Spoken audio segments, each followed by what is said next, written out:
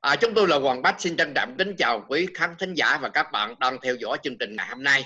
Và thưa quý vị, cũng như thường lệ vào mỗi thứ bảy là anh Đặng Quốc Việt có chương trình là thời sự nắm trong tuần. À, xin chào anh Đặng Quốc Việt. Vâng, à, chào anh Hoàng Bách và xin chào các khán giả. Dạ vâng, à, thưa anh, à, bây giờ thì cái tin nắm trong tuần có lẽ vào thứ ba vừa qua, tức là ngày 16 đó, thì chúng ta thấy là có một cái biến cố quan trọng là cái văn phòng liên lạc giữa Nam và Bắc Hàn. Họ đã thành lập khá lâu, nhưng mà cái văn phòng này trong thời gian mà bị Covid á, thì họ không có hoạt động nữa, tạm thời và không ngưng hoạt động chứ không phải hoạt động nữa. Nhưng mà khi mà người em gái của ông Kim Jong Un á, thì ông tuyên cổ tuyên bố là sẽ có một cái thái độ cứng rắn đối với Nam Hàn thì đúng vào cái ngày thứ ba là vào lúc 2 giờ 49 phút buổi chiều đó thì cái văn phòng này bị giật sập. À, dưới cái nhìn của anh tại sao cái biến cố này nó gây ra chấn động quan mang đối với Nam Hàn và nhiều các quốc gia quan tâm tới tình trạng của Bắc Hàn thưa thưa anh? Vâng thưa anh biết là trong cái thời gian vừa qua đó à, trong năm 2018 2019 thì cái vấn đề mà bang giao giữa Nam Bắc nó rất là tương đối là cái có cái triển vọng tốt đẹp. Và giữa Hoa Kỳ và Bắc Hàn cũng đã có những cái buổi gặp gỡ của Tổng thống Donald Trump với Kim Jong Un để về vấn đề về nguyên tử, giải giới nguyên tử.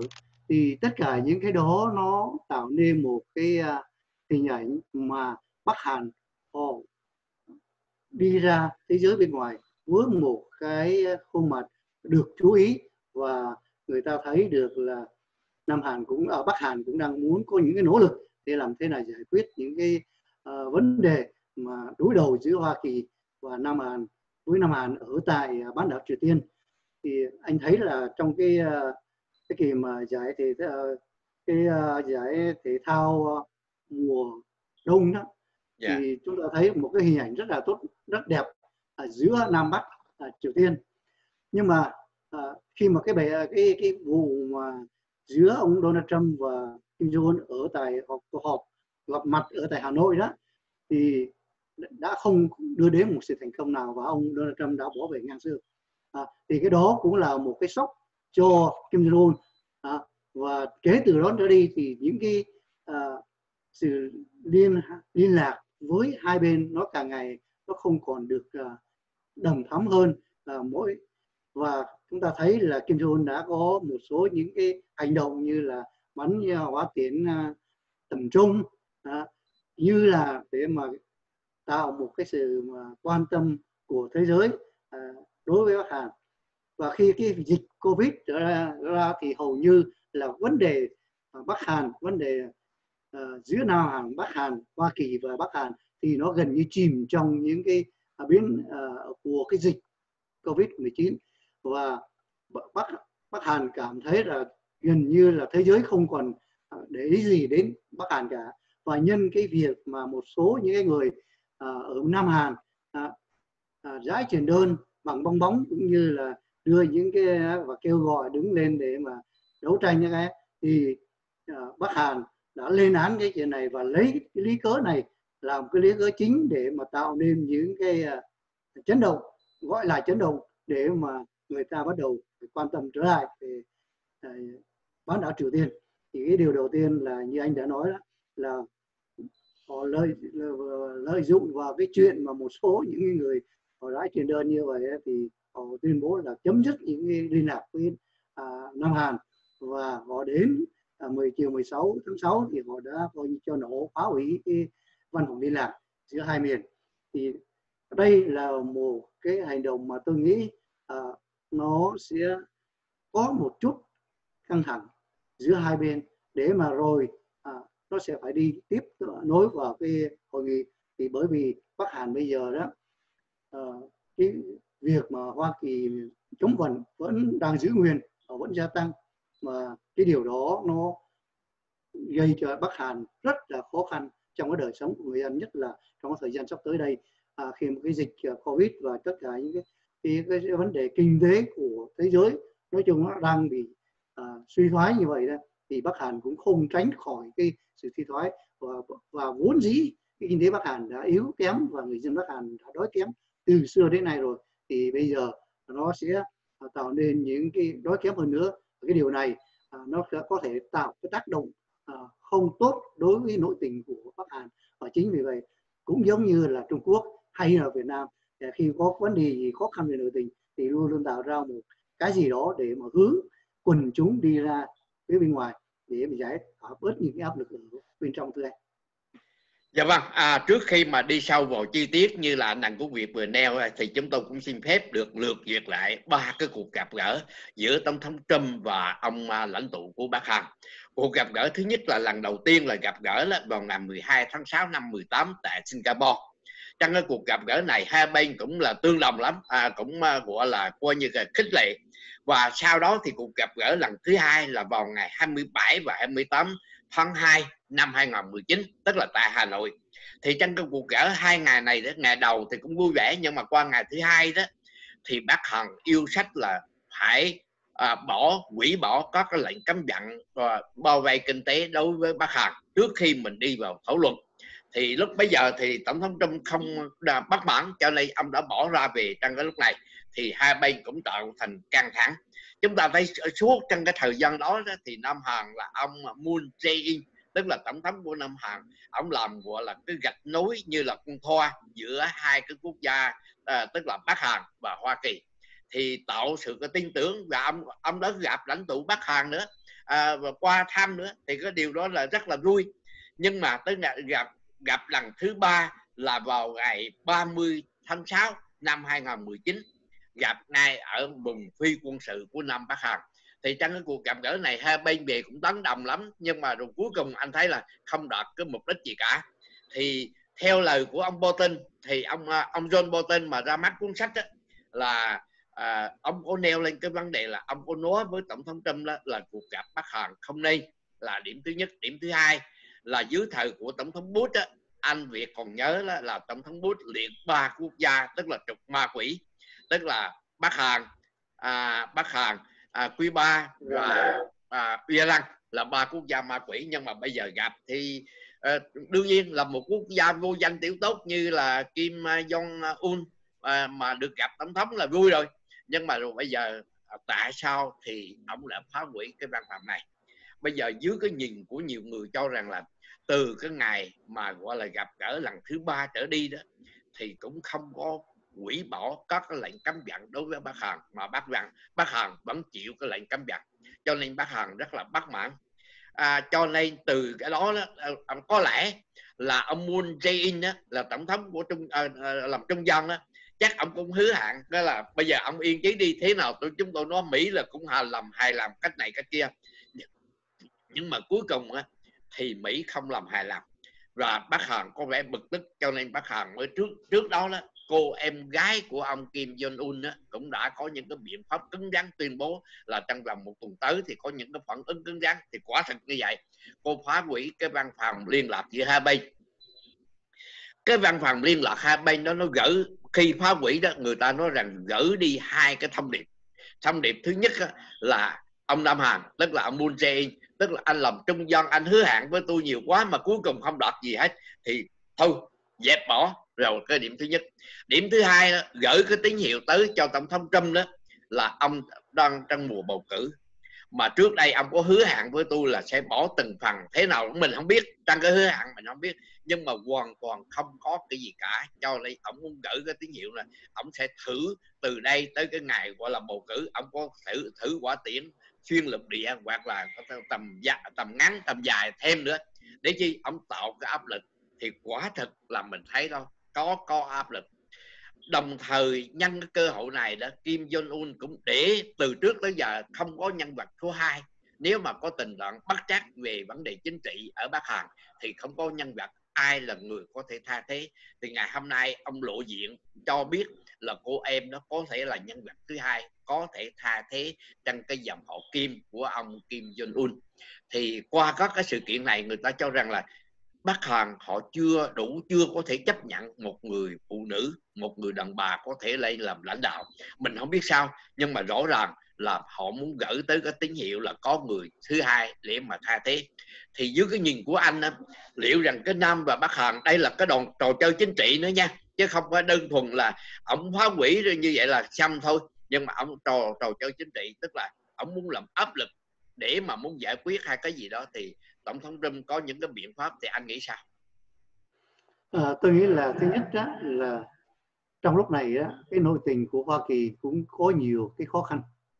À, khó khăn thứ nhất là về vấn đề cái dịch Covid à, và hiện giờ cái số người à, nhiễm bệnh dương tính vẫn gia tăng và Hoa Kỳ vẫn là cái nước dẫn đầu về cái à, lây lan cái dịch à, Covid và cái số người à, tử vong cũng càng ngày càng gia tăng và hôm nay đã trên 120 ngàn người rồi.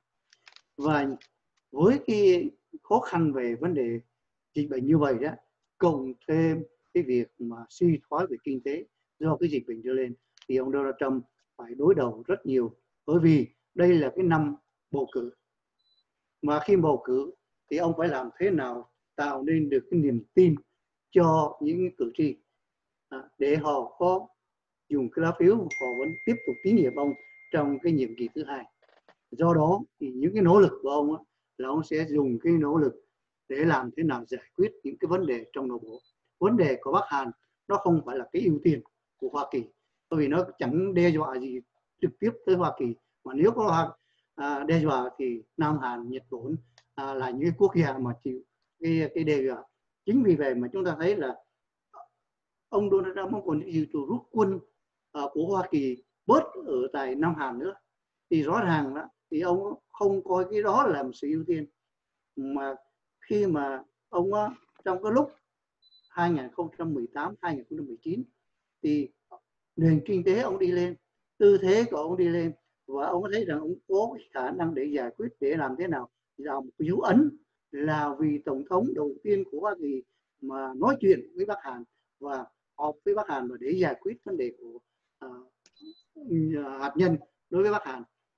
Và khi mà cái sự kiện đó nó thấy rằng không, đến cái lúc không thành công và trong những khó khăn hiện giờ, đến cái ngày bầu cử thì ông phải lo cái chuyện đó. Do đó, tôi nghĩ rằng Bắc Hàn dù cố tạo những áp lực đi chăng nữa, thì trong cái giai đoạn này cho đến ngày bầu cử, ông Donald Trump cũng sẽ không hành động gì cả. Và nếu căng thẳng thì nó lại trở lại trước cái kỳ 2018 là Bắc Hàn là thiết lập những cái, cái lô cốt những cái trạm kiểm soát rồi đem binh lính tới tới và bên Nam Hàn cũng vậy. Và nó lại ở trong cái tình trạng bằng môn môn điếm là cái nơi mà vẫn à, để đó. Bởi vì cả hai quốc gia hai đó nó chưa có chấm dứt chiến tranh à, nó chỉ tạm thời thôi. Thành ra tôi nghĩ là nếu mà giữa uh, Bắc Hàn hy vọng là những cái áp lực này làm cho Hoa Kỳ hay là tổng thống Donald Trump có những cái giải pháp thì cái chuyện đó sẽ không có. Mà ngược lại thì ông Donald Trump sẽ có những biện pháp mạnh mẽ hơn. Lý do trên những cái chỉ hành động mà mang tính cách hiếu chiến của Bắc Hàn để mà cái cái cái vấn đề cấm vận sẽ gia tăng. Và cái điều đó nó đã xảy ra. Thì tôi nghĩ rằng cái ước vọng cái, cái toàn tính mà của uh, Bắc Hàn tôi nghĩ khó là trong cái giai đoạn của 2020 này nếu có hy vọng qua là 2021 sau khi bầu cử tổng thống thì nó có thể có một số những những cái sự thay đổi. Nhưng mà trước mắt hiện giờ theo tôi á, thì nó sẽ không có cái gì thay đổi cả. Dạ vâng, bây giờ đó là vấn đề Bắc Hàn Nam và Bắc Hàn. Đó là một cái điểm mà người lưu tâm cũng khá quan trọng trong cái biến cố à, xảy ra trong cái tuần lễ vừa qua. Bây giờ mình trở về Hoa Kỳ mình đi đâu thì cũng trở về Hoa Kỳ. Hoa Kỳ thì có nhiều tin tức lắm đặc biệt là cái tin mà cuốn ra mắt cuốn sách của ông John Bolton đó. Thì thưa quý vị ra mắt cuốn sách này thì chúng tôi với luật sư Nguyễn Hoàng Duyên cũng đã lượt qua. Cho nên trong cái trong cái kỳ này nói chuyện với anh Đặng Quốc Việt chúng tôi chỉ nêu lên một số những cái biến cố khác. Bên cạnh đó, thì có ra mắt ba cuốn sách cũng xả ra dồn dập trong cái tháng 6 cũng như là trong tháng 7 bây giờ mình bước qua một lĩnh vực khác thì những cái biến cố là tối cao pháp viện quyết định một số các ờ, một số các cái quyết định. Mà có lẽ nếu nhìn kỹ thì chúng ta thấy đi ngược lại cái nguyện vọng của tổng thống Tâm cũng như đi ngược lại cái nguyện vọng của một số đảng cộng hòa bảo thủ. Đó là cái quyết định gì? Có ba cái quyết định vào thứ hai. Vào thứ hai tức là ngày à, 15 thì chúng ta thấy cái quyết định đầu tiên đó trong cái quyết định này là về cái người đồng tính luyến ái hay là cái người đồng tính hay là cái người thay đổi tính. À, thì trước đây trong các uh, ờ, tổng thống Trump và một số những người bảo thủ đó họ không chấp nhận ở trong cái vấn đề đó và tổng thống Trump không đồng. Nhưng mà tối cao pháp viện là quyết định là cho những người đồng tính hoặc là người những người thay đổi giống tính đó, thì họ có quyền bình đẳng trong các công sở trong các công ty trong nơi làm việc không có được đuổi họ không có giới hạn hay là cho họ cái quyền bình đẳng tức là vẫn duy trì họ làm như là một người con người bình thường. Đây là cái điều mà cũng lấy, lấy làm lạ phải không đặng anh đặng có việc cái cái phán quyết thứ hai để anh việt đi vào chi tiết cái phán quyết thứ hai thì Cali là một cái tiểu bang gọi là um, an toàn. Tại sao nó an toàn? Dưới thời của ông uh, Jeff Sessions á, làm uh, bộ trưởng bộ tư pháp thì có cái vụ kiện xảy ra cái vụ kiện đó là gì? Ở trên à, liên bang họ gửi quân đội về để mà có thể theo dõi hay bắt bớ những người mà ở lậu ở tiểu bang à, California. Thì à, California họ nói là ông bắt bớ thì quyền của ông nhưng mà khi ông phối hợp với cái công à, cảnh sát hay là quân đội à, ở ở ngay tiểu bang đó thì chúng tôi mất thì giờ chúng tôi không có thì giờ chúng tôi không có ngân sách thế này thế kia thì cái quyền của ông ông làm. Nhưng mà đó đưa ra cái tình trạng là nó tóm lại là Cali là cái nơi trú ẩn cho những người mà ở lậu thì vấn đề này đã đưa ra giải quyết hai tòa rồi nhưng mà hai tòa đó họ không giải quyết được rồi cuối cùng á, đưa tới cái thất bại cho nên mới đưa lên tối cao pháp viện. Và tối cao pháp viện vừa rồi là cái đi cái quyết định tức là họ không xét xử cái cái cái cái, cái, cái sự vụ kiện này. Họ trả về cho Cali tức là mặc nhiên là coi như Cali họ còn nguyên tức là vẫn là nơi trú ẩn. Đó là cái quyết định thứ hai. Mà anh thấy rồi cái quyết định thứ ba thì mới xảy ra cách đây hai ngày thôi thì chúng ta thấy vấn đề Dhaka nó có từ thời tổng thống uh, uh, Obama là Alaska là những vào khoảng 800 hay là hơn 800 ngàn trẻ em.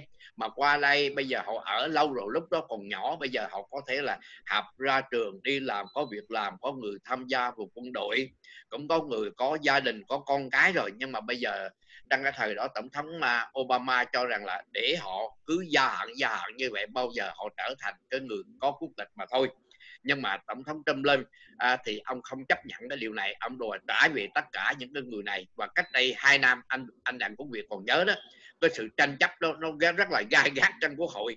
Bàn qua phe dân chủ phe cộng hòa cứ nói đi nói lại hoài. Thì cuối cùng á thì cái vụ này kiện lên tố cao pháp viện à, tố cao pháp viện bây giờ họ họ để lửng tức là họ trả về trở lại họ không chấp nhận. Họ nói là họ không đồng ý với tổng thống Obama nhưng mà họ cũng không chê tổng thống Trump tức là ông bỏ lửng. Thì cái vị tổng thống nào trong tương lai cứ hai năm như vậy họ gia hạn và có thể người, những người này họ đi làm để đóng thuế và cuối cùng có thể ở lại. Thì tất cả những cái sự kiện này. Nó tóm lại là ba cái phán quyết của tối cao pháp viện. Mà quý vị biết là tối cao pháp viện có 9 người, mà trong đó có 5 người là đảng cộng hòa, bốn người là đảng dân chủ, nhưng mà vẫn đi tới cái quyết định mà có bất lợi cho tổng thống Trump. Thì với cái góc nhìn của anh như thế nào về vấn đề này, thưa anh? Vâng thưa anh khi mà nhìn vào cái xã hội Hoa Kỳ ấy, thì chúng ta biết đó là cái à, vụ mà đồng tình luyến ái hoặc là chuyển giống nó là một cái thực thể không riêng gì ở Hoa Kỳ mà ở nhiều nơi trên thế giới. Và nhiều quốc gia cũng đã cũng đã chấp nhận bởi vì cái đó là con người và họ không tự chọn cho mình cái à, cái, cái gọi là cái à, tí, phái tính của họ mà có thể cho từ uh, trong khi sinh ra họ đã bị uh, như vậy hoặc là cái họ muốn trở thành từ một người nam muốn biến thành người nữ hoặc là người nữ của người nam thì cái đó nó đã ở khắp nơi trên thế giới mà nhiều nơi cũng đã chấp nhận. Vấn đề này đó là tranh cãi rất lâu ở tại Hoa Kỳ. À, một phần lý do nó nó thuộc về lĩnh vực của tôn giáo. Nhưng mà tôn giáo thì từng bước họ cũng phải chấp nhận bởi vì đó là con người bởi vì con người sinh ra bởi thượng đế. Mà thượng đế sinh ra người ta như thế nào thì người ta phải chịu như thế đó. Thì không có lý gì bảo thượng đế sinh tôi ra bây giờ như thế này lại không cho tôi được như thế này thế kia. Cái điều đó là sự bất công phi lý. Và cái điều này nó làm cho tôi nghĩ những người uh, dân cử của hai đảng cộng hòa và dân chủ đều có một cái suy nghĩ. Kể cả những người mà chống và chống là bởi vì có mang tính chất của một đảng phái. Họ nhưng thân tâm của họ họ cũng tôi nghĩ họ cũng không muốn cái chuyện đó. Tại vì cái chuyện phi lý của nó là con người người ta sinh ra như vậy tại sao mình lại lại không công nhận người ta? Và vì vấn đề chính trị nên những con người này họ cứ phải đứng để hai phe cái không có bên nào có đủ để mà giải quyết cái chuyện này. Nếu không có một cái cơ quan mà theo tôi nghĩ cái tối cao pháp viện là một cái cơ quan để mà giải quyết cho những cái chuyện không thể nào giải quyết được giữa hai đảng.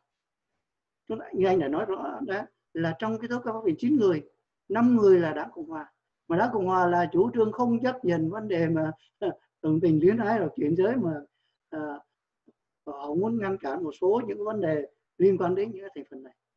Thành thử ra ông Robert là đảng viên cộng hòa là cái người do tổng thống Robert đưa vô thì đúng nguyên ra là những người cộng hòa sẽ phải vốt theo cái điều của đảng cộng hòa.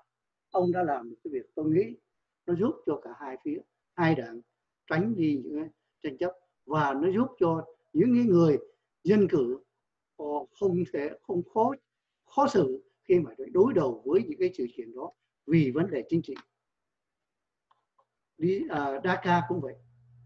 Dhaka những em họ tới đây lúc còn nhỏ, họ tới đâu? Đâu có phải là tự nhiên các em tìm tới. Có ai đem tới và để ở đây và bây giờ lớn lên ở đây. Nó học hành ở đây, thành tài ở đây và đang đóng góp cho đất nước này.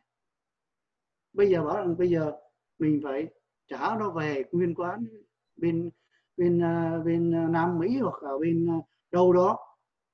Họ, những trẻ này nó không thích hợp, nó không sống ở trong cái xã hội đó. Không có thể có có thể là không có ai ở đó để có thể sinh sống được. Thì tại sao mình lại không có phương cách giải quyết? Nếu đất nước Hoa Kỳ này mà nó đã có cái mạng nạn nhân mãn tức là nó quá nhiều dân số trên một cái lên lãnh thổ thì cái đó có thể người ta phải tìm cách để làm giảm à, ngăn cản để mà tránh cái nhìn mãn nó xảy ra là khó khăn. Nhưng mà đất nước thì còn quá rộng, khoảng chừng 300 triệu người dân mà cái lãnh thổ rộng mênh mông. Đó. và những người này, những em đã đang lớn lên và đang làm việc, đang đóng góp cho đất nước này. Bảy, tám trăm ngàn em thôi. So với những cái thành phần khác tới đất nước Hoa Kỳ này mà không có giấy tờ cũng, còn có lẽ nhiều hơn cái số này nhiều. Thành ra tôi nghĩ những vị dân cử bên đảng cộng hòa, họ cũng không muốn là phải làm cái chuyện này. Nhưng mà vì đảng nên họ phải chấp nhận những cái gì mà đảng đưa ra. Và họ muốn là phải chấm dứt là không có chương trình DACA nữa. Thì cái phán quyết của uh, tòa tối cao ngày 18 tháng 6 vừa qua với năm trên 4 nó đã giải tỏa được cái chuyện đó. Thì rõ ràng anh thấy rằng là có những cái mà thâm tâm người ta không không muốn. Nhưng bởi vì cái quyền lợi của đảng đặt quyền lợi của đảng lên trên. Thành thử ra người ta phải chấp nhận làm những việc mà đảng giao phó. Và đây là cái giải pháp mà tôi nghĩ giúp cho cả tất cả đảng viên cộng hòa đảng dân chủ họ cảm nhận được rằng cái việc này nó đã được giải quyết.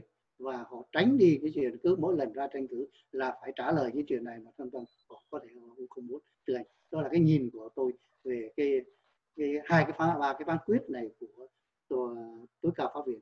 Nó giúp cho rất nhiều cho cả hai phía và nhất là trong cái bối cảnh hiện giờ của cái tình hình uh, xã hội Hoa Kỳ. Khi mà cái, chống uh, những cái kỳ thị càng ngày càng gia tăng và cái uh, cái đòi cái sự công bằng nó càng ngày càng gia tăng thì cái đến cái lúc mà người ta phải giải quyết để cho cái sự việc nó được giải quyết chứ không nó cứ nằm đó và cứ như vậy âm ỉ và trước sau rồi ngày nào bộc phát thì bây giờ là nó đang bộc phát thì để mà tránh đi những cái hậu quả không hay trong tương lai trong xã hội Hoa Kỳ vì phân hóa nhiều hơn nữa, thì bây giờ là cái phán quyết này nó giúp cho sự hàn gắn và nó giúp cho giảm bớt đi những cái sự căng thẳng trong xã hội Hoa Kỳ thưa anh. Dạ vâng, anh vừa nêu lên cái vấn đề người đồng tính luyến ái đó. Thì nếu mà anh Đặng Quốc Việt còn nhớ ngược lại thời gian ở Sài Gòn năm 1975 trước đó thì chúng ta thấy một số anh chị em của người đồng tính đó, có tập trung ở trước ở tòa đô chính hay là ở rạp Cinerate đó, họ tập hợp ở đó nhưng mà hồi đó đó cái dư luận cũng như làm người họ chưa chấp nhận cái số người đó. À nhưng mà rồi thời gian họ cũng phải thay đổi. Bởi vì như anh nói đó mà tôi chúng tôi muốn xin nhắc lại một lời của ông Buttigieg tức là ông này là ứng cử viên tổng thống của đảng dân chủ tức là 22 người mà chạy đua vào tòa là bạch ấp để cho mà đảng dân chủ chọn lựa ra. Thì anh này là tốt nghiệp ở đại học Harvard rồi đi đi qua ở bên Anh học trường Oxford rồi anh đi tham gia vào quân đội rồi à, làm thị trưởng của một thành phố. À, thì thưa quý vị ông ông lý luận như thế này ông về quý vị chống người đồng tính luyến ái thì quý vị biết đó. Chúng tôi xin lặp lại cái lời của anh đặng của việt đó. Là thượng quý vị biết là thượng đế đã sinh ra con người.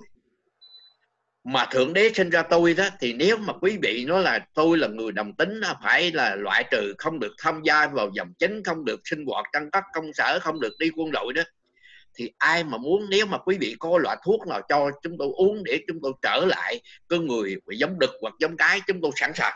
À, bây giờ nếu mà quý vị à, trách thì quý vị trách thượng đế. Bởi vì thượng đế đã sinh ra con người mà. Bây giờ chứ không lẽ quý vị trách tôi? Bởi vì tôi là con người. Bây giờ nam hay nữ đó thì bây giờ thượng đế đã sinh rồi. Thì ông lý luận cũng rất là hay. Trở lại vấn đề đó. Đây là vấn đề thời sự, thưa anh đặng quốc việt. Cái tiến trình xã hội mỗi ngày nó phải thay đổi. Và con người cũng vậy họ phải nhìn chăng? Bởi vì đây là thực tế của vấn đề mình không thấy phủ nhận được. Bây giờ các cái đảng phái họ phủ nhận là vì ô, thế này thế kia, họ sợ bảo thủ, họ sợ những người người lớn tuổi. Nhưng mà cái giới trẻ bây giờ, họ rất là thoải mái. Cái đó là con người, cho nên mình phải nhìn nhận, cái chấp nhận là cái sự đồng tính luyến ái. Ngay cả bên tòa thánh Vatican, bây giờ thì chưa có đồng ý hoàn toàn, nhưng mà Đức Giáo Hoàng có nhiều lúc ông cũng phải là, đó là sự thực của con người. Mình không thể, có thể là mình nói ngược lại được. Không, mình không thể bắt họ đem giết đi, bởi vì là con người mà anh tôn trọng con người thì con người dù là giống đực hay giống cái, phụ nữ ha, nam nam hay nữ đó, cũng cũng như nhau hết. Anh anh anh đồng ý với mình không? Thành cái điểm đây là một cái điểm rất là tế nhị, nhưng mà cuối cùng là phải chấp nhận. Nó là một cái tiến trình của xã hội, càng ngày người ta thấy đó là một thực thể.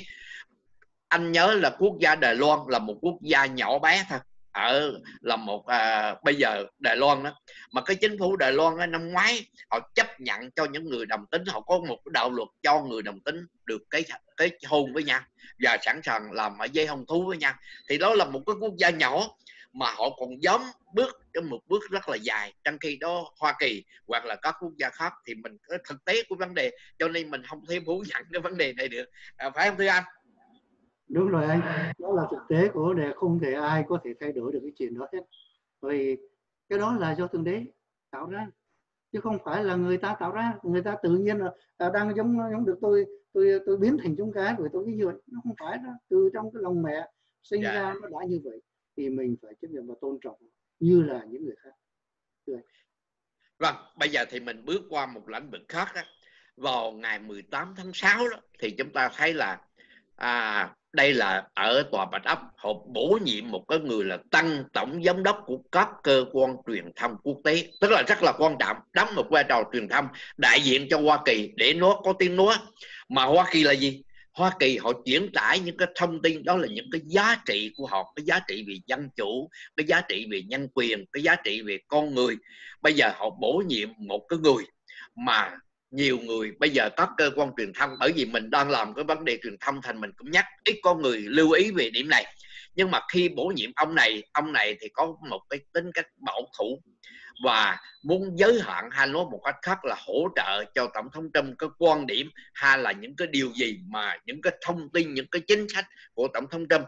Thì ông này mới vừa lên thôi thì ông đã sa thải một số những người lãnh đạo nghĩa là cấp cao. Ví dụ như là tổng giám đốc của đài Á Châu Tự Do cũng bị nè. Rồi à, giám đốc đài đài VOA. Anh thấy tất cả những cái điều này dưới cái nhìn của anh. Khi mà một cái người mà tất cả các cơ quan truyền thông đó mà ờ, gói trọn trong một cái nội các hay là trong một cái chính phủ thì dễ đi tới cái vấn đề độc tài mình chê cái chế độ cộng sản Việt Nam hay chế độ cộng sản Trung Cộng hay là các cái chế độ độc tài đó. Hay họ khi mà họ độc tài lãnh trị thì có cơ quan truyền thông họ nắm hết, tức là họ độc quyền. Độc quyền về truyền thông, mà đối với Mỹ này đó, truyền thông là đệ tứ quyền, cho nên người dân có quyền phát biểu. Thì với một người mà thao thức, mong ước đất nước chúng ta sớm có tự do dân chủ, mình đấu tranh để có dân chủ mà dân chủ đó thì phải có quyền tự do phát biểu quyền coi như đệ tứ quyền. Thì với cái nhìn của anh anh đánh giá như thế nào qua cái vấn đề ông tăng tổng giám đốc này ông thay đổi toàn bộ những cái vấn đề ở trong cái ngành truyền thông của nước Mỹ và quốc tế thưa anh? Vâng thưa anh là chúng ta biết là cái cơ quan truyền thông của Hoa Kỳ đài hoa hoặc là đài RFA á, nó đều là những cái cơ quan để vận động dân chủ trên thế giới và là tiếng nói cho tự do dân chủ của Hoa Kỳ. Đây là một cái cơ quan à, mà đó đã được thành lập như Đài Hoa được thành lập từ năm 1942 à, và chúng ta thấy là khi cái ông à, tân giám đốc của cơ quan truyền thông quốc tế của Hoa Kỳ vừa mới lên đó, thì ông đã quyết định sa thải bà Bay Phang là tổng giám đốc Đài Á Châu Tự Do và một loạt các cái vị giám đốc các kênh truyền ờ, thông quốc tế khác nữa. Và tiếp theo đó là cái sự uh, từ chức của bà uh, giám đốc và phó giám đốc của uh, đài hoa thì chúng ta thấy rằng cái uh, cái nguyên nhân mà sa thải bà tổng giám đốc của đài RFA và cái sự từ chức của giám đốc và phó giám đốc của cái đại hoa. Nó là do cái sự mà cái ông tổng giám đốc Michael Park rất bảo thủ và ông này lại là một người thân với tổng thống Trump. Và chính vì muốn ảnh hưởng lên cái vấn đề truyền thông à, do đó ông này đã được à, bổ nhiệm vào cái vai trò tổng giám đốc cơ quan truyền thông của Hoa Kỳ bà tổng giám đốc đài Hoa hoặc là tổng giám đốc đài Á Châu Tự Do. Thì cái quan niệm của, của họ là muốn để làm thế nào sử dụng cơ quan truyền thông này một cách độc lập và họ dùng để vận động cho vấn đề tự do dân chủ nhân quyền ở khắp nơi trên thế giới. Trong khi đó thì chúng ta thấy rõ là các cơ quan truyền thông của Hoa Kỳ đó ngoài đài Fox ra thì hầu hết những cái đài khác đều không uh, thích ông Donald Trump và có khuynh hướng để mà chống lại ông nhiều hơn. À, chính vì vậy tôi nghĩ là khi ông đề cử ông Michael Park vào trong cái vai trò này đó là để có thể có được một cái cơ quan truyền thông giúp cho ông trên cái lĩnh vực truyền thông. Thì cái tai hại của vấn đề này là cái gì? Là đây là một quốc gia uh, tự do. Vấn đề báo chí, vấn đề truyền thông là đệ tứ quyền, và họ không chịu ảnh hưởng của bất cứ một cái thế lực nào để mà có thể control họ. Và nếu mà control họ như vậy đó, thì vô hình chung, như anh vừa nói là nó biến thành một cái công cụ của một cá nhân hay là của một tập thể nào đó, thì cái điều đó nó không phải là một cơ quan truyền thông để mà truyền tải những cái tin tức chính xác lợi ích nhất đến cho người dân. Và đặc biệt Đài Hoa, Đài Á Châu Tự Do và các kênh của nó đều hướng về các quốc gia từ Phi Châu, Âu Châu, Châu rồi à, Á Châu trong cái lĩnh vực tự do dân chủ. Và nếu mà như vậy đó thì cái điều mà chúng tôi muốn nói tại vì Việt Nam chúng ta đang tranh đấu cho một đất nước có tự do dân chủ đang tranh đấu cho một cái quyền về tự do ngôn luận, tự do báo chí, tự do truyền thông. Thì cái điều này nó sẽ ảnh hưởng thế nào đến cái công cuộc đấu tranh của chúng ta? Đây là một dấu hỏi mà tôi nghĩ là những người đấu tranh, họ sẽ phải suy nghĩ.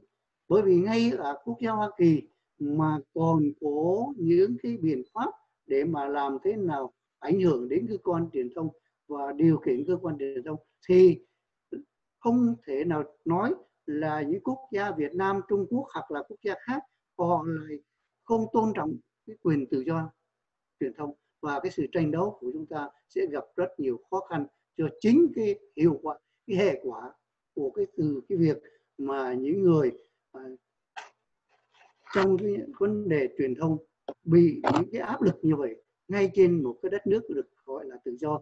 Và tứ quyền để tứ quyền là một quyền rất quan trọng đối với à, người dân ở tại Hoa Kỳ này thưa anh. Dạ vâng, anh vừa nêu lên cái vấn đề đó thì chúng tôi cũng thấy là ông à, David Hết là một cái chuyên gia về châu Á Thái Bình Dương.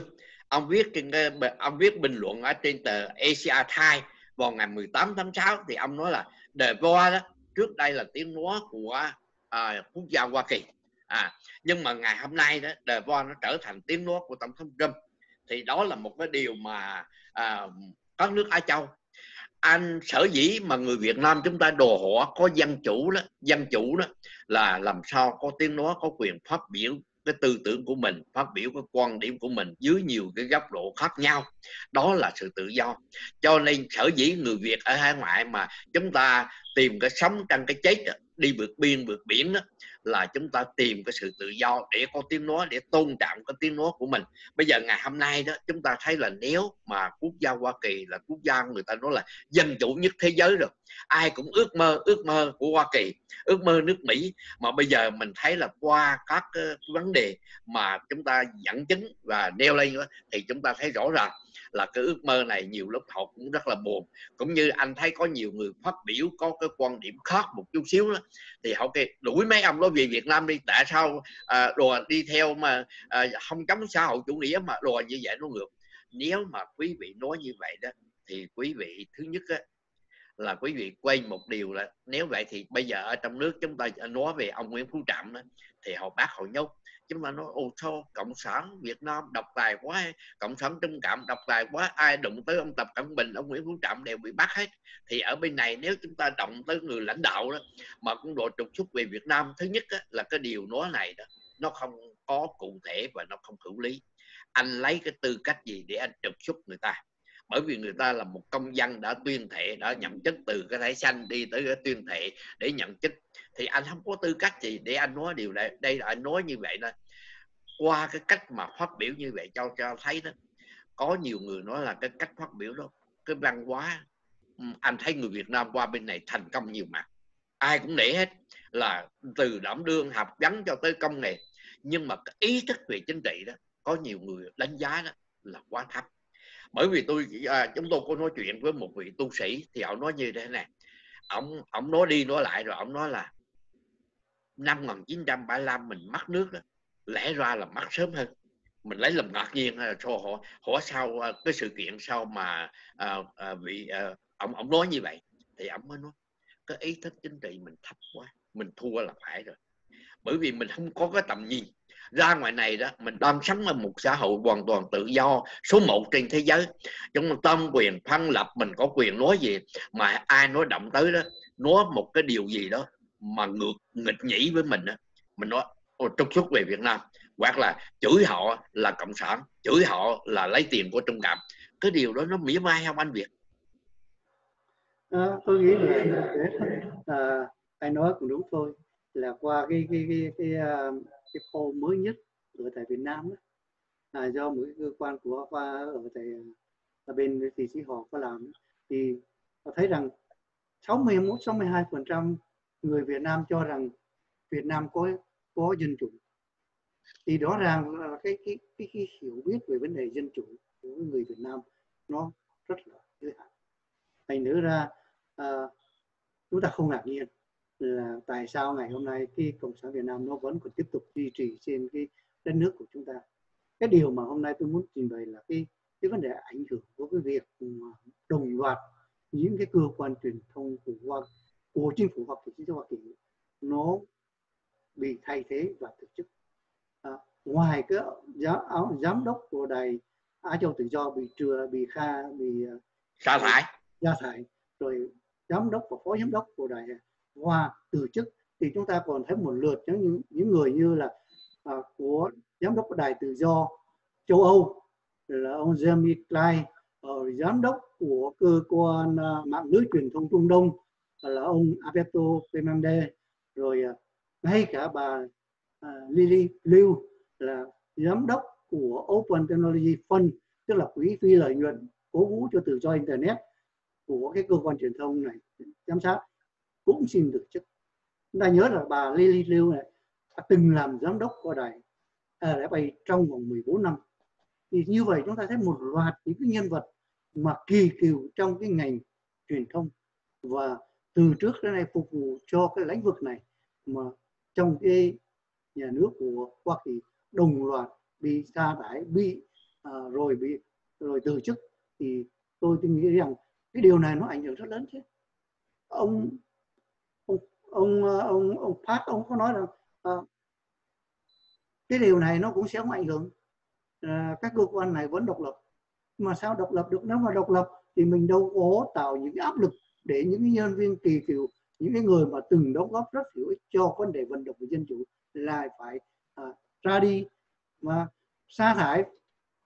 Thì nếu họ có những cái, cái lỗi lầm sa thải thì đúng. Nhưng mà những người mà không có bị sa thải mà họ lại từ chức là bởi vì họ nhìn thấy rõ là cái cái việc này làm sai trái và làm tạo áp lực và và chính vì vậy mà họ phải từ chức. Bởi vì họ không muốn hợp tác với một cái người mà mang tính cách quá độc đoán. Như vậy anh tôi nghĩ là ông có nói như thế nào đi chăng nữa thì cái điều rõ ràng nó ảnh hưởng. Và theo tôi thì nó ảnh hưởng đối với chính quyền Hoa Kỳ. Bởi vì những cái cơ quan này nó có tới 117 triệu khán thính giả tại châu Á. Nó nghe cái đài này. Và đặc biệt đài đài Hoa người ta nghe rất nhiều. Mà bây giờ với cái tình hình như thế này thì ai nghe họ cũng sẽ mất đi niềm tin của một cái đài mà nó à, có tính cách độc lập và nó tự tự do dân chủ. À, và đối với người đấu tranh thì đây là một cái điều mà làm cho những người đấu tranh mất đi một cái phương tiện. Bởi vì trong thời gian vừa qua để Á Châu tự do để đóng góp rất nhiều trong các lĩnh vực đặc biệt là đại Á Châu tự do. Đối với vấn đề tự do dân chủ ở tại Việt Nam và thúc đẩy những cái tự do dân chủ ở tại Việt Nam. Và ngày hôm nay sự thay đổi như vậy người ta nghĩ rằng với cái tính cách mà khá độc đoán như vậy đồng loạt của nhiều người từ chức như vậy và bị sa thải như vậy chắc chắn nó sẽ ảnh hưởng. Và những người đấu tranh cho tự do dân chủ cũng sẽ mất đi một phần nào hay là hoàn toàn mất đi cái một cái cơ quan vận động cho tự do dân chủ tại Việt Nam thôi. Dạ vâng, chúng tôi rất là tương tác qua cái suy nghĩ của anh và trình bày. Bởi vì xã hội Hoa Kỳ là một cái xã hội dân chủ mà cái mẫu mực này đó nhiều nước cũng phải bắt chước theo. Bởi vì có đệ tư quyền mà bây giờ đó có cái đệ tư quyền này bị khống chế hay là bị có bị đưa vào một chiều thôi á, thì khác gì chúng ta trách có cái chế độ độc tài mà khi mà chúng ta đấu tranh để đổ tự do là chúng ta cần phải có tiếng nói phát huy cái tiếng nói đời sống dân chủ mà. Cho nên bây giờ mình mình mình mình mình à, uh, bịt miệng người ta thì cũng không được. Cho nên tất cả những cái sự kiện này đó chúng ta thấy rõ ràng là gần đây cái vấn đề của các cái hệ thống hay là các cái định chế đó nó bị thay đổi rất là nhiều và nó làm xấu trộn. Chúng tôi hy vọng rằng à, là trong tương lai thì các cái định chế này nó sự ổn định và chúng ta cũng tiếp tục để mà hỗ trợ cho công cuộc đấu tranh dân chủ ở trong nước. À, ngày hôm nay thì à, cuối tuần cho nên đặng của việc à, nêu lên tất cả những cái sự kiện mà những cái thời sự nắm ở trong à, tuần vừa qua. À, chúng tôi thành thật cảm ơn quý khán giả đã theo dõi và lắng nghe. Cảm ơn anh đặng quốc việt đã dành thời giờ à, rất là bận rộn mà anh cũng dành thời giờ để đóng góp trong chương trình này. Chúng tôi xin chào tạm biệt và kính chúc quý vị những à, giờ phút còn lại bình an hạnh phúc bên gia đình và người thân. Xin mời anh. တာဂိတာဝိတာဝိခဏိယ